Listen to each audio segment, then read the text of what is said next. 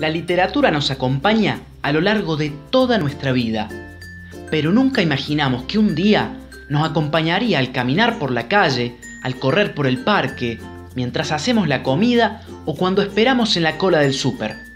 Esto es Remordosain, tu podcast de audiolibros.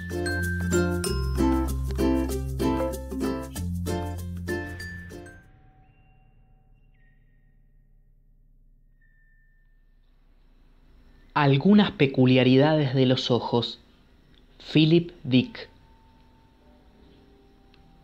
Descubrí por puro accidente que la Tierra había sido invadida por una forma de vida procedente de otro planeta. Sin embargo, aún no he hecho nada al respecto. No se me ocurre qué. Escribí al gobierno y en respuesta me enviaron un folleto sobre la reparación y mantenimiento de las casas de madera. En cualquier caso, es de conocimiento general. No soy el primero que lo ha descubierto. Hasta es posible que la situación esté bajo control. Estaba sentado en mi butaca, pasando las páginas de un libro de bolsillo que alguien había olvidado en el autobús, cuando me topé con la referencia que me puso en la pista. Por un momento no reaccioné. Tardé un rato en comprender su importancia. Cuando la asimilé, me pareció extraño que no hubiera reparado en ella de inmediato. Era una clara referencia a una especie no humana, extraterrestre, de increíbles características. Una especie, me apresuro a señalar, que adopta el aspecto de seres humanos normales. Sin embargo, las siguientes observaciones del autor no tardaron en desenmascarar su auténtica naturaleza. Comprendí enseguida que el autor lo sabía todo. Lo sabía todo, pero se lo tomaba con extraordinaria tranquilidad. La frase, aún tiemblo al recordarla, decía, sus ojos se pasearon lentamente por la habitación. Vagos escalofríos me asaltaron. Intenté imaginarme los ojos. ¿Rodaban como monedas? El fragmento indicaba que no. Daba la impresión de que se movían por el aire, no sobre la superficie en apariencia con cierta rapidez. Ningún personaje del relato se mostraba sorprendido. Eso es lo que más me intrigó. Ni la menor señal de estupor ante algo tan atroz. Después, los detalles se ampliaban. Sus ojos se movieron de una persona a otra. Lacónico pero definitivo. Los ojos se habían separado del cuerpo y tenían autonomía propia. Mi corazón latió con violencia y me quedé sin aliento. Había descubierto por casualidad la mención a una raza desconocida, extraterrestre desde luego. No obstante, todo resultaba perfectamente natural a los personajes del libro, lo cual sugería que pertenecían a la misma especie. ¿Y el autor? Una sospecha empezó a formarse en mi mente. El autor se lo tomaba con demasiada tranquilidad. Era evidente que lo consideraba de lo más normal. En ningún momento intentaba ocultar lo que sabía. El relato proseguía. A continuación, sus ojos acariciaron a Julia. Julia, por ser una dama, tuvo el mínimo decoro de experimentar indignación. La descripción revelaba que enrojecía y arqueaba las cejas en señal de irritación. Suspiré aliviado. No todos eran extraterrestres. La narración continuaba. Sus ojos, con toda parsimonia, examinaron cada centímetro de la joven. ¡Santo Dios! En este punto, por suerte, la chica daba media vuelta y se largaba, poniendo fin a la situación. Me recliné en la butaca, horrorizado. Mi esposa y mi familia me miraron asombrados. ¿Qué pasa, querido? preguntó mi mujer. No podía decírselo. Revelaciones como esta serían demasiado para una persona corriente. Debía guardar el secreto. Nada, respondí con voz estrangulada. Me levanté, cerré el libro de golpe y salí de la sala a toda prisa. Seguí leyendo en el garage. Había más leí el siguiente párrafo temblando de pies a cabeza. Su brazo rodeó a Julia.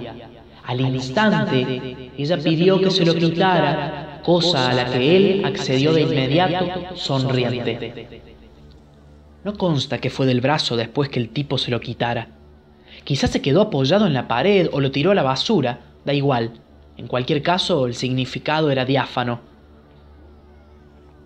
Era una raza de seres capaces de quitarse partes de su anatomía a voluntad, ojos, brazos y tal vez más, sin pestañear.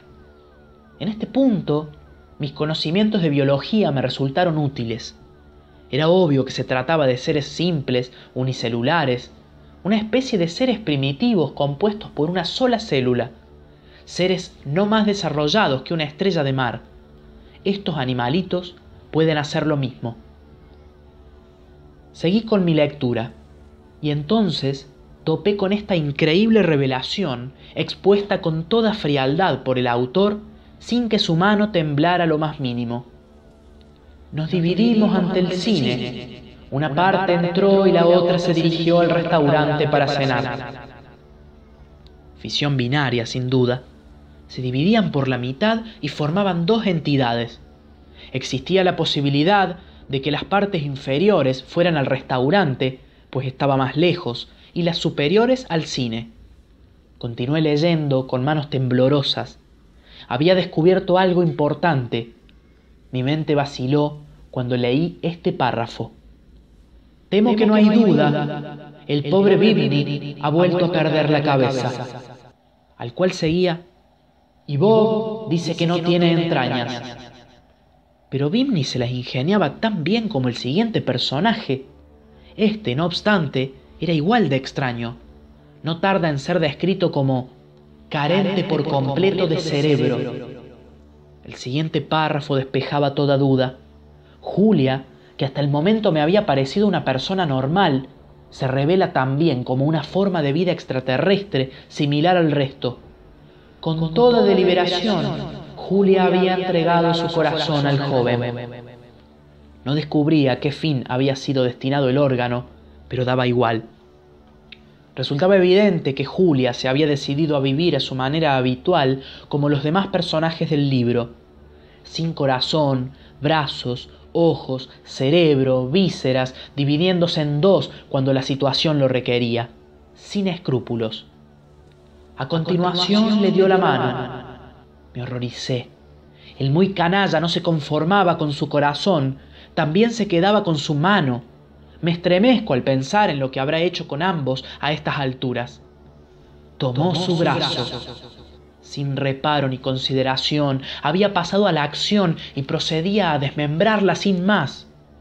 Con el rostro enrojecido, cerré el libro y me levanté, pero no a tiempo de soslayar la última referencia a esos fragmentos de anatomía tan despreocupados cuyos viajes me habían puesto en la pista desde un principio.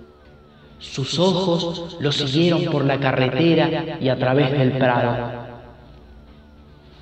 Salí del garaje de prisa y me metí en la bien caldeada casa como si aquellas detestables cosas me persiguieran.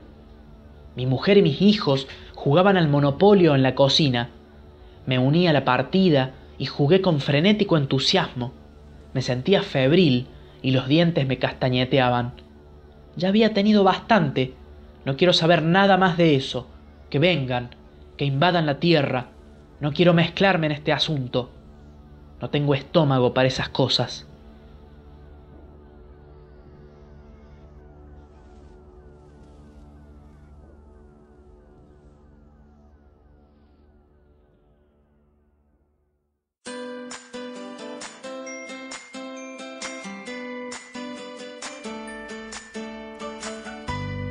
Hoy leímos, hoy escuchamos algunas peculiaridades de los ojos de Philip D.